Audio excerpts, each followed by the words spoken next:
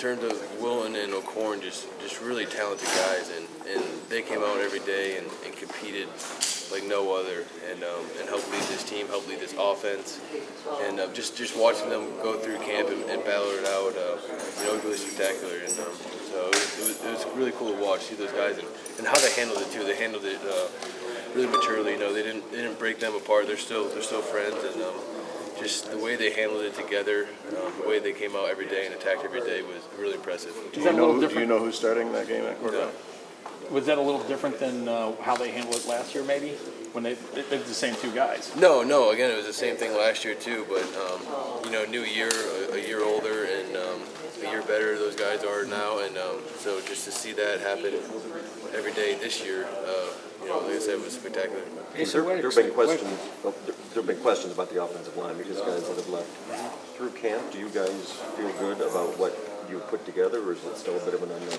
No, absolutely feel good. Um, you know, we knew we knew the depth we had um, coming into this year, how how talented we were, just just a little unexperienced.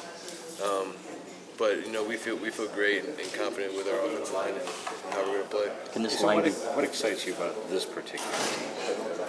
Uh, just, just honestly, all the new faces. I mean, we got so many guys that they're so young and so talented that haven't really been able to showcase their, their skills yet because we had so many seniors last year. So, um, you know, in, in four or five days when we go play Florida, um, to be able to watch them for the first time, really go and put on a show. I mean, it's just it's, it's going to be unbelievable, and uh, you know, I can't wait to watch it. can this line be better than last year's, even though you lost all that experience? Absolutely. Um, I think every year, every year you have the chance to be better than the next, and, um, and hopefully we are. Um, you know, our goal is to be uh, physical um, and just really be the best offensive line in the country, and that's our goal year in and year out.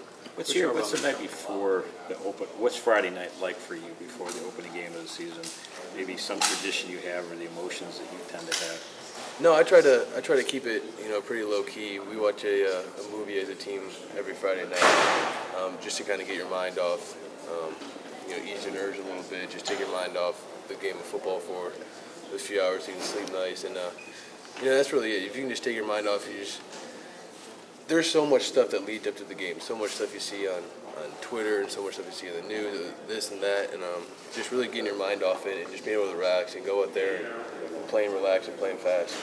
Or I mentioned the offensive line being a bit more serious or less joking around this year. Is that just a matter of different personalities? Like Kyle and Eric obviously like to have a, a pretty good time last Right. year. Yeah, I think just, just different personalities, and I think, you know, the way we finished last year, um, you know, we lost three games by, by a total of five or six points, and um, just seeing how close we were. Um, I think this year, just you could you could tell how close we are, and um, you know, if it takes being a little more serious to, finish those those games, then that's what we're gonna have to do. Did the offensive line take some time in particular, feel feel particularly responsible about the, the close losses or anything like that that caused that? No, no, just um, in terms of uh, the team as a whole, you know, we were just just so close, and that's something we preached um, all off season, just just how close we were. So, um, just just doing everything we can to, to, to finish reps and, and finish games now, and um, you know that's really our goal this season is to to finish games and win win these games out and win these games, these tight games. Harbaugh mentioned earlier that the, the quarterback position was, was communicated. Does he tell the whole team what's going on there, or you guys still kind of guessing Uh, until Saturday? No, I think they told, you know, he told us a little bit, but um, I think the quarterbacks know more of what's happening. I don't, I don't know. It's not really a question for me.